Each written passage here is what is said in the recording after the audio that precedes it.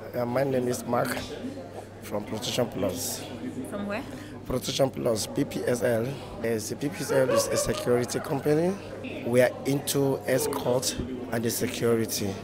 So in order to protect life and also property also too. That's what we're into it. It is my first time to be here today because I'm happy to be here today. Normally I have to come to require so many things and we learn so much. So I will inspire us against our tomorrow. and normally since we are, we are come to land, at least after the order be done, we have to pick one or two things and you will make use of it for the progress of yourself and the progress of the company. Hmm.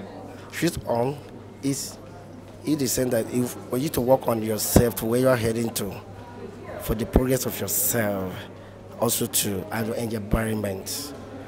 So I think that's only the explanation I can give for that.